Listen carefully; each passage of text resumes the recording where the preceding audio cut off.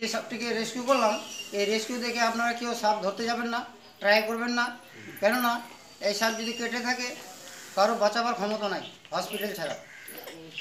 তো হসপিটাল যাবেন ঠিকই। এসব কিছু ধরলে এই তারাপদ বাড়িতেই ধরা হলো। এখানেই ধরা হলো। তো গ্রাম হচ্ছে বারসই।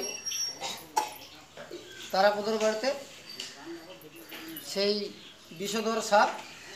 এই বিষধর সাপের বিষ ঝড়টা যে আছে, এই ঝড়টার নাম হচ্ছে থাইরোটক্সিন যেটা কালো, ওটাকে বলে মনিকুলেট কোবরা।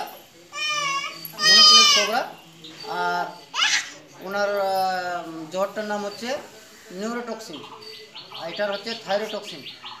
তো এইসব সাপ কেউ ইউটিউব চ্যানেল দেখে ধরতে যাবেন না। কেননা, এরা কারও কথা শুনে না এদের মুখে কোনো জবাব নেই। তো বেশি কথা বললাম না।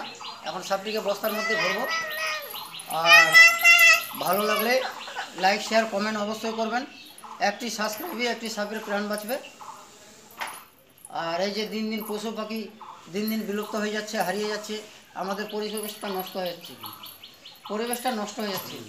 কেননা মানুষের আগে, একটা মানুষ আগে ষাট বছর একশো ষাট বছর বাঁচত এখন ষাট বছরই শেষ একশো বছর উড়ে গেছে। তো এই যে মানুষ কাছু খেয়ে নিচ্ছে, সাপকে মারে ফেলছে, উট খেয়ে নিচ্ছে, ঘুঘু পাখি বন্ধুদের মেরে নিচ্ছে, তো এই যে দিন দিন পশু পাখি দিন দিন বিলুপ্ত হয়ে যাচ্ছে, হারিয়ে যাচ্ছে, পরিবেশটা দূষী হয়ে যাচ্ছে। ওই জন্য বলছি বলছি যে পশু পাখিকে আপনারা বাঁচিয়ে রাখুন সে আপনারা বেশি বেশি করে শেয়ার করবেন। আর শেয়ার করলেই একটি প্রাণী একটি শেয়ারে একটি প্রাণী বাঁচবে।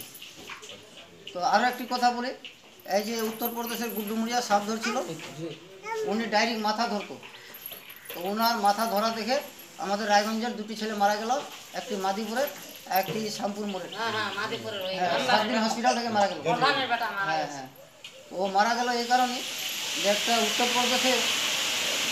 উত্তরপ্রদেশে গুড্ডু গুড্ডুমুড়িয়া যদি সাপের মাথা ধরতে পারে তো আমরা সাধারণত লোকগুলা লেজটা ধরতে পারব না কেন। তো ওই জন্য ধরতে গেছিল। একজন টোটো চালক, দুজনেই টোটো চালক। সবগুলো ধরতে গিয়ে মারা গেছে। তো ঠিক আছে, বন্ধুরা, বেশি বেশি শেয়ার করুন, যেন গুড্ডু মুড়িয়ার কাছে এই ভিডিওটা পৌঁছায়। ওনার জন্য মনে গুসা হোক, উনি যেন আমার রায়গঞ্জে আসে, উনি যে কেলিতে সাপ ধরে, যেন আমাকে ধরে দেখায় দেয়, ওকে আমি চ্যালেঞ্জ করছি। তো ঠিক আছে, জয় হিন্দ, জয় ভারত, বন্দে মাতরম।